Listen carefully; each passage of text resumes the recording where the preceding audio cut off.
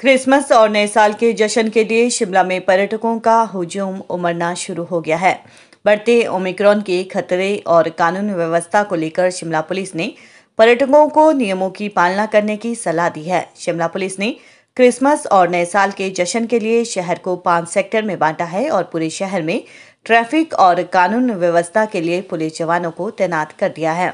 SP Shimla Monika भटुंगरू ने बताया कि क्रिसमस और नए साल के जश्न के लिए भारी संख्या में पर्यटक शिमला पहुँच रहे हैं, जिसके चलते ट्रैफ़िक की समस्या भी आ जाती है। इसलिए जिला प्रशासन ने क्रिसमस और नए साल पर पाँच प्रतिबंधित सड़कों को पार्किंग के लिए खोल दिया है। कानून व्यवस्था के लिए चार रिज़र्व फोर्स शहर में तैनात कर दी गई है। ओमिक्रॉन के खतरे को देखते हुए पर्यटकों से कोविड नियमों की पालना की अपील भी की गई है। मौसम विभाग ने बर्फबारी की आशंका भी जताई है, जिसे देखते हुए लोगों को अगर रेस्क्यू भी करना पड़ा तो उसके लिए तैयारी की गई है। बहुत ही अट्रैक्टिव टूरिस्ट डेस्टिनेशन है और हर साल की तरह इस साल भी हम एक्सपेक्ट कर रहे हैं कि काफ़ी टूरिस्ट आएँगे।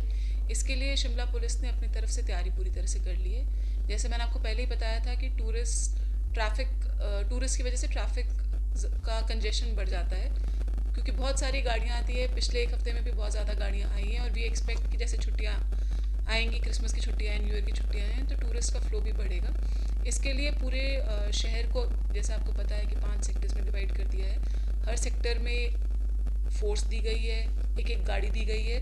ताकि लोगों को सहूलियत हो कंजेशन जो भी ट्रैफ़िक का है, उसको निकाला जा सके। और जैसे स्नोफॉल की भी प्रिडिक्शन है तो लोगों को रेस्क्यू कर टाइमली किया जा सके। इसके साथ साथ हमें पुलिस हेडक्वार्टर्स की तरफ़ से चार रिजर्व्स की फोर्स मिली थी विंटर सीज़न के लिए। चार रिजर्व्स का मतलब है लगभग नब्बे से सौ के करीबन फोर्स इसको भी हमने सारे टूरिस्ट डेस्टिनेशंस पे, चाहे वो नारकंडा हो, कुफरी हो, मॉल रोड हो, हर जगह पे उसको, उनको डिप्लॉय कर दिया। ट्रैफ़िक में डिप्लॉय किया है शोगी बैरियर पे डिप्लॉय किया है ताकि स्मूथली हमारा विंटर सीज़न चल सके।